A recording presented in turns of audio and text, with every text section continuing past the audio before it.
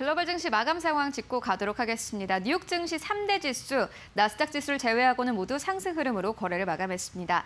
나스닥 지수는 4거래 연속 하락세를 나타내고 있지만 다우존스 지수와 S&P 500 지수는 상승으로 거래를 마감했는데요. 이 호실적을 내놓은 기업들 중심으로 상승 흐름이 나왔습니다. 이 유로존에 있는 기업들도 마찬가지인데요. 유로존 기업들의 4월 성장률은 지난 9개월과 비교했을 때 가장 높았다고 합니다. 또 이 간밤에는 원자재 이 가격이 상승하면서 관련된 종목들도 상승 흐름이 나왔습니다. 이제 시장은 뚜렷한 지표에만 반응을 하고 있습니다.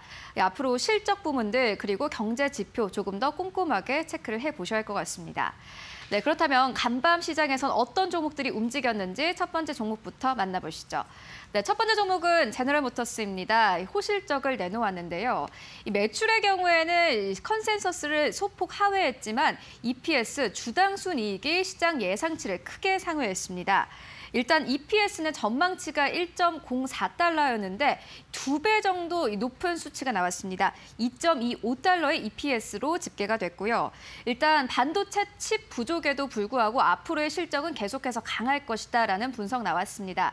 또 장중에 새로운 뉴스가 나왔는데 GM이 올해 말 소비자들에게 자율주 행차를 내놓을 수 있을 것이다 이렇게 밝히면서 시장 다시 한번 크게 힘 받았습니다. GM 상승 흐름으로 거래를 마감했습니다.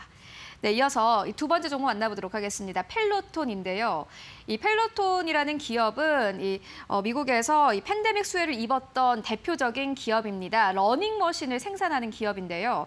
하지만 이슈가 있었습니다. 최근 이 아동들이 깔리거나 좀 걸리고 있었다, 걸렸다라는 보고가 있으면서 이 시장에서는 14% 이상의 급락 흐름을 나타냈습니다. 이 정부 측에서는 이 펠로톤의 이 트레드밀을 즉시 사용을 중단할 것을 권고하고 전액 환불 조치를 내렸습니다. 이와 함께 간밤 증시에서는 두 자릿수의 하락 세를 보였는데요. 14% 넘게 급락하면서 거래를 마감했습니다. 네, 이어서 세 번째 종목 만나보도록 하겠습니다. 힐튼 월드와이드입니다. 마찬가지로 실적을 내놓았는데요. 일단 실적 같은 경우에는 EPS가 예상치가 8센트였는데 큰 폭으로 하회하면서 2센트로 집계가 됐습니다. 또 순손실도 1억 9천만 달러로 집계가 됐습니다. 일단 코로나19의 여행 규제로 인해서 매출에 큰 타격을 받았다라는 이 분석이 나오고 있습니다. 하지만 힐튼 월드와이드의 주가의 경우에는 S&P 500 지수가 10% 상승할 때 15% 이상 상승한 바 있는데요.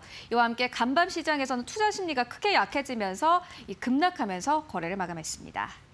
네, 이어서 네 번째 종목 만나보도록 하겠습니다. 리프트인데요. 리프트와 우버입니다. 오늘 이 시장에서 실적을 내놓았는데 이 두 개의 기업 모두 다 시장 예상 컨센서스를 상회하는 실적을 내놓았음에도 불구하고 이 주가의 흐름은 조금 달리하는 모습이었습니다. 일단 우버 같은 경우에는 이 순손실이 1억 8,800만 달러로 집계가 됐는데 지난 4분기에는 순손실이 이 9억만 달러, 9억 달러였습니다. 크게 개선되는 모습을 보였는데요. 일단 자율주행 사업 부 매출 증대로 매출이 크게 증대됐다고 합니다.